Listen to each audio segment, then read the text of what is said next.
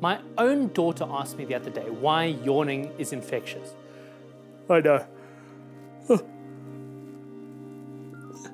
This is ridiculous. I can't even speak about it without yawning. And now, I bet that you've just yawned too. Yawning is one of the most common, widespread, and mysterious of human behaviors. Almost all vertebrates do it, and it seems to be contagious in just about every species. Certainly, researchers have found evidence that chimps, dogs, cats, birds, and even reptiles find yawning contagious. Not only that, but a lot of species catch yawns from other species. My colleague, Andrea, has dogs. One yawns, then the other one does. Then she yawns, then they all yawn together. Writing the script for this insert was a nightmare. I yawned every 15 seconds. It was the literary equivalent of chopping onions.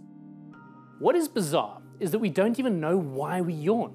It allows us to stretch our eardrums and take a very deep breath. We also often accompany a yawn with a long, delicious stretch. Stretching and yawning together is called pandiculating. There. At least you're going to learn something today. Theories as to why we do this include clearing our lungs of stale air and regulating our brain temperature. I can't see why either of these would be contagious though.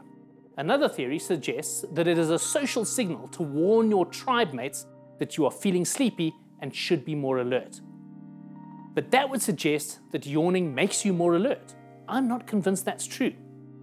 Contagious yawning definitely requires an awareness of social cues.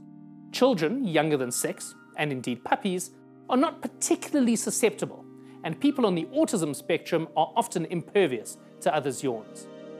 Because yawning, and especially contagious yawning, exists across so many species types, it suggests that it must have occurred in the common ancestors of birds, reptiles, and mammals. That means it's been around since before the dinosaurs. I think it's quite possible that it is just one of those strange, quirky things that isn't particularly advantageous or otherwise, and so has survived eons of evolution.